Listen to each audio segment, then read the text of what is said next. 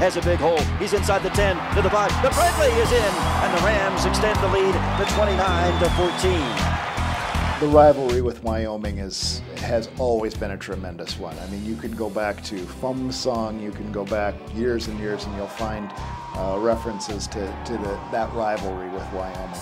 The ROTC connections of running back and forth, uh, the exchange of the boot, the traditionally being the last game of the season. The bronze boot itself is a size 8 Corcoran parachute jump boot that was worn in Vietnam.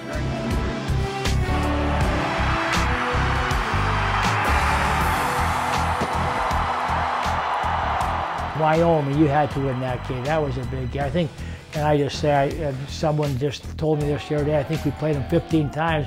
We won 11 of those games, and they, and they were all pretty close games. But it's a, yeah, it's a big, you got to beat Wyoming to at least keep the fans happy for a week.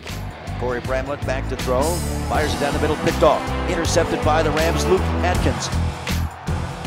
That's a game that you have to win, and that's a game that uh, is important and, and it's important for the University of Wyoming. And there's a lot of players from the state of Colorado on both teams at that time. This game's got a lot of heritage. You know, there's been been good games by both teams. It's uh, it's quite a rivalry, and I know it's important to you know their university and their community, and it's very important down here, obviously. Cecil Sapp at the 15. He's at 10, on his feet, at the 5, at the 4, the 3. Cecil Sapp! Oh, that dog is growing again.